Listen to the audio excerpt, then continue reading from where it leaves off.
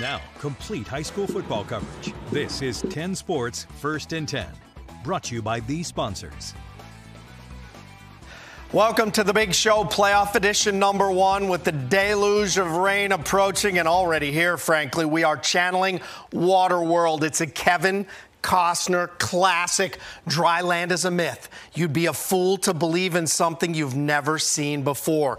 Regardless, our crew is taking no chances. Our own web guru, Samantha Smith, has moved her equipment to high ground so she can continue to deliver the finest first and 10 site. Yes, that right on our website, WSLS.com. Which brings us to the game of the week. As the postseason opens, a pair of 7 and 3 teams who played an overtime thriller in week seven. Yes, 10 Sports Eric Johnson was at the Floyd versus Glenvar rematch. Yes, if you remember that first matchup, Abby, Glenvar had a number of injuries, a lot of guys out. But of course, you fast forward to tonight. Not only did they play Little Caesar style, hot and ready, but as Coach Clifford told me earlier in the week, hot and healthy is the name of the game. Solid crowd on the Thursday night. Here is the opening drive from Floyd County. This, this pass is tipped and picked off by Avon Knoll. Returns it to plus territory. Highlanders with cash in. Brody Doyot goes up top as he did all night long. Nick Woodson on the touchdown catch. It's a 7 0 lead. Glenvar far from done as they were all over the aerial attack. Doyot, beautiful spiral to Gabe Ford, scores the 55 yard touchdown. Glenvar was like a bike coming down Mill Mountain with no brakes. Nearly oh. flawless oh. in the first half. Oh. Next drive, yet another sweet pass corner end zone. Look at Ford use his size on the catch right mm. there. Made it 21 nothing at the end of the first quarter. Action Jackson. Jackson Swanson joining the party. 24 yard catch right there. 35 nothing in the second quarter, but Winfred Beale's Buffaloes, they get a big defensive play. Glenvar driving, Davis oh. Goff intercepts the pass, returned it all the way to the five yard line. Floyd County would cash it in for points. Latham Barbieri goes up the gut for the score, but Glenvar played mad as if someone stole their lunch money. Doyot finished with six passing TDs, one rushing. Glenvar wins it 49 to 14 we have some good football players. We want to get the ball in their hands, and so you know we were able to do that tonight. And um, you know, defensively, I was really proud of our defense. I thought they pushed us around. Uh, last time when we played them, you know, again in the second half, and I was really proud that we got a lot of stops. I mean, I have complete faith in my in my QB, O line, D line. Of course, um, I've been gradually getting more healthy and healthier throughout the season, so just staying confident. Glenvar is certainly battle tested this season, and what is a tough Region 2C definitely proved their work tonight. Appy? All right, and I'm hungry now after the hot and ready. Thank you for that. Appreciate it, Eric. Glenvar and Floyd, two quality programs. The three and six seeds. Martinsville is the two seed in this bracket, and they get a six and four visitor from Dan River to open the playoffs. And folks, this was no joke. Down 21 14 at the half. Martinsville needed a spark, and they get it from their senior quarterback, Rashawn Dickerson, breaking tackles, carrying defenders, 28 yard touchdown to tie the game at 21 21. Bulldogs up 28 21. Junior running back Latrell Hairston straight up the gut. No one's bringing him down. 36 yard touchdown, 35 to 21. Dan River tries to rally back. Senior quarterback Shamar Ferguson rolling left. He's throwing it to the corner. Jaden Haynes making the play. 25 yard touchdown to get Dan River within a point. The second half, running back Jamal Jones right here, 38 yard touchdown. You thought they had put it away at 42 27. They would have to hold on for a 42 39 victory. Meantime, Radford, the one seed, taking care of the Hawks. They now have 10 wins on the season, does Radford. And Allegheny traveled to Appomattox. That was a 40 to 12 score. Apple wins their eighth game of the season. So here's the bracket, and as you can see, it will be Radford and Martinsville hosting games next week in the semifinals. Meantime, it was a roundabout way to the top 1C seed for Galax this season. Maroon Tide dropped that key Mountain Empire game to George Wythe, but finished strong to grab home field throughout. It was raining in Galax, but that didn't stop them. Galax wouldn't disappoint. Tommy Jones giving it to Tedron Tucker, 24 yard touchdown, 28 0. Maroon Tide scoring again. Quarterback Jones handing off to Brady Lowe right here. Nice move and groove. He's in. Three yard touchdown, 35 0. Weather no help for the Chargers tonight. Wyatt Campbell, that ball is loose. Galax recovers on their own three. And then it's uh, Brandy Lowe again, muscling his way in, 42 0. Galax wins 49 zip. Giles at Grayson County tonight. The Blue Devils are 8 and 2, but the four seed. Here we go. Here comes the rain. High snap over the punter's head. Blue Devils recover on their own 10. Next play. Grayson quarterback Austin Dow calling his own number. He's up the middle, 10 yard touchdown, 7 0. The Blue Devils defense would be tough all night. Giles running back Christian Ratcliffe taken down in the backfield right here. Spartans are forced to punt. Just a few ticks left. First half, Grayson quarterback Austin Dow is going to find McAllister Goad in the corner. 24 yard connection. This one goes to Grayson 35 to 7. Meantime, Covington at the Narrows Green Wave. Here we go. 6 nothing Narrows. Aiden McLaughlin airing Darian Johnson the pick right here for Covington to slow down the Green Wave attack. Still 6 nothing. McLaughlin going ding ding ding da ding ding. Ding, ding, ding, da, ding, ding. Under pressure, and look what he does. Look at the moves, look at the grooves. He is all the way down inside the 10. And then how about a quick give to Sam Albert? Sam, little dive and thrive to go uh, to get in. They would go for two, and it was 14 nothing. Now, about two minutes to go in the half, the Cougars get on the board. It's Desmond Jordan to Purcell Turner, who hauls it in. It was 14 6 but narrows 34 to 18. George Wythe is the two seed. They get the victory over Parry McCluer. So to the bracket we go. It's Galax and George Wythe once again hosting semifinals. And this score from the Region 1B, Buffalo Gap 56 to 36. I haven't seen it, and I've sailed further than most men have ever dreamed. At Salem, the Spartans have, well, uh, through their history, been busy turning dreams into reality.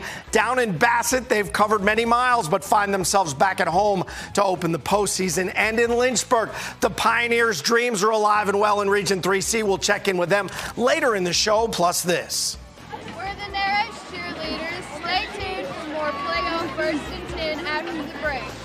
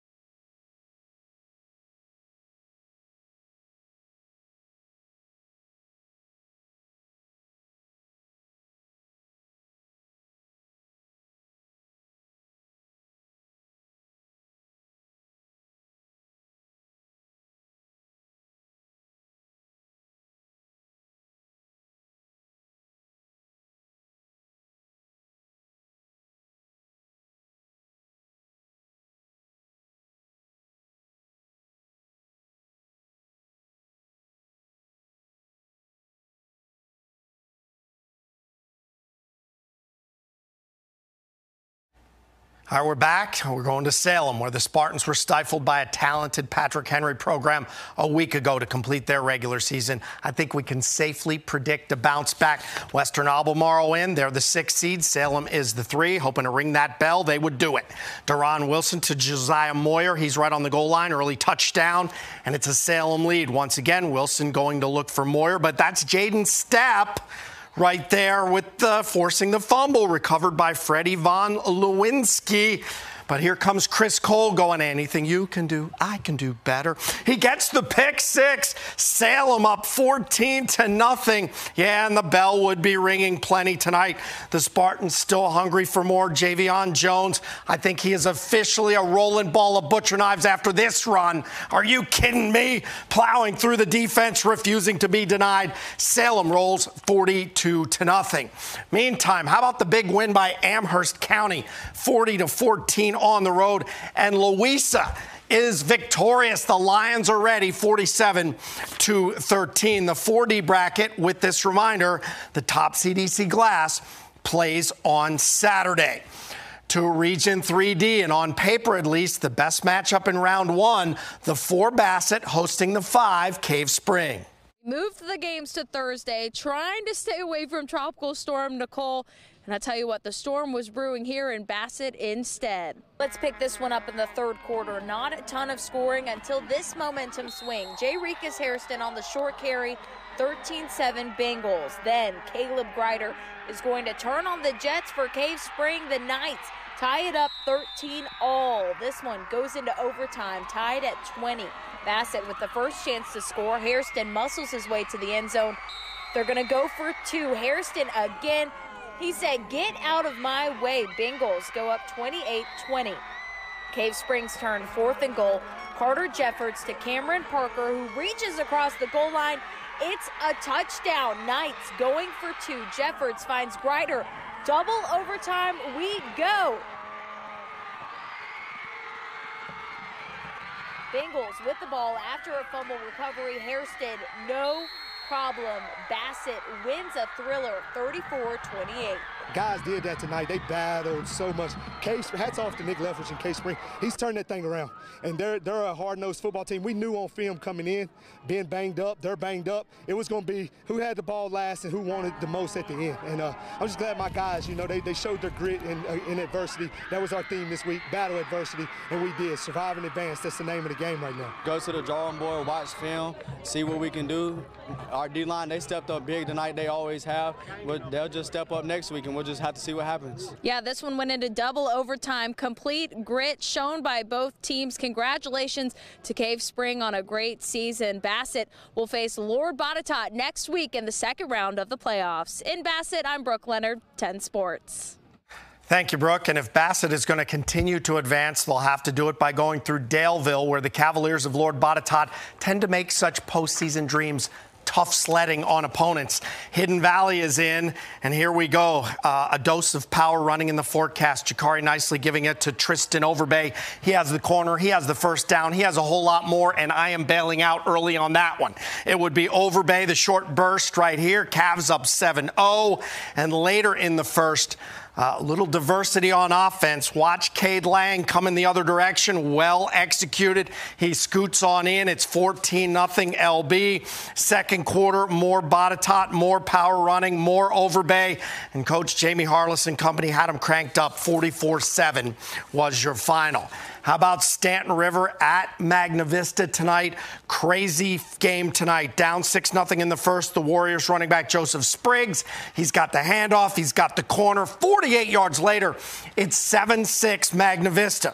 Back come the Golden Eagles. Sophomore running back making errors, making a guy miss right there. Nice cut. Waves goodbye to the defense. 14 yard touchdown. Staunton River's going to line up for the extra point, and instead it's Montana to Clark back in the end zone. That's Nathaniel Martin to Joshua Kelly. Great catch back there. Two point conversion. Staunton River's up 14 7. Magna Vista has an answer. Jameer Hairston taking the shovel pass, making everybody miss. He's got the need for speed. 66 yards later, we had a tie game, but Staunton River gets the victory, 35 to 21. As we check the 3D bracket, This reminder, Christiansburg plays on Saturday afternoon, but the 10 and 1 Lord Botetourt Cavaliers and the Catawba Crazies with the home field throughout this bracket. Which brings us to the powers that reside in Class 6 football. Franklin County with a daunting road trip tonight to Western Branch. Western Branch gets them by two scores, 28 14 is your final. And in 5D, the Colonels in that 5D bracket still scheduled for tomorrow night, although that could move. And PH set for Saturday in Roanoke. So those two games have yet to play, but the winners tonight were Mountain View and River Bend. Nothing's free in Waterworld and nothing's free in the postseason. We'll see if the Pioneers can handle a visitor in that 3C bracket. That and more when we come back.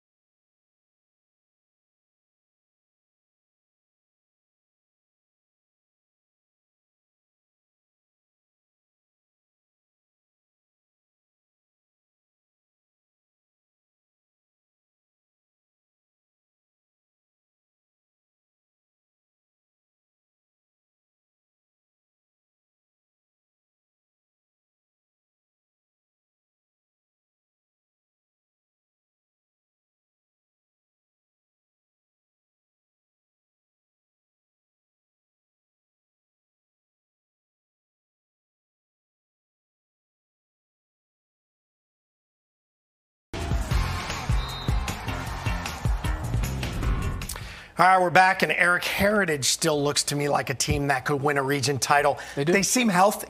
They and, do. and that's really all that matters right now. Do you have the players that can get you further? Right. In, in that Seminole district, it seems like teams play teams from out of our area just to come back and play each other. Right. Right. Well, we're used to it. Right. We'll get to the highlights here. Heritage hosting Staunton, Jasir Bateman, handing this off to Rajon Booker Felder. He's doing some work tonight. Gets a touchdown for the early 7 0 lead. Just three minutes to go in the first quarter. Jasir Bateman once again, the handoff this time. Jeffrey Mosley getting through the defense to the end zone for another touchdown. The defense also held the Pioneers up tonight in a big way, 35 nothing over the Storm of Staunton. How about Brookville welcoming in Wilson Memorial 273 squads? We picked this up in the third. Aiden Podgorski handing it off to Braden Tyree for the Wilson Memorial touchdown. Just a seven point lead for Brookville, but then they start to crank it up. Drake, Drake McDaniel, a touchdown for the Bees to bring them up 28 14 with just minutes left in the third quarter. We're going to go SpongeBob a few minutes later. Jordan Whitelaw rushes to the right taken out of bounds by Parker Balcom. Brookville goes on to the 41 to 21 victory over Wilson Memorial. I'll tell you what, I really, really think that either of these two teams we just saw could come through, right? And, and I mean, like I said, the best thing is that that good old rivalry being right there. They know each other, know what they present, so it could be good. All right, let's take a look at the bracket real quick. And we'll show you that uh, you know LCA play. They play Saturday. They are out there, but are they healthy? Are they healthy? We don't know. That's a big question mark. And we saw it, it kind of hurt them last week, of course, against EC Glass. Right, and Turner Ashby, well, we'll wait and see what they have for LCA. All right, guys, uh, this is what's coming Saturday, in case you weren't sure. Northcross will play. That game will happen over at Salem High School. Christiansburg plays in the afternoon, as does PH. LCA plays in the evening, and EC Glass. Of course, as we talked about, the one in in Class 4D, they're going to take on Halifax. And folks, twas a fine show indeed. We are back next Friday, weather permitting, of course, for region semifinal action. We'll see you next week.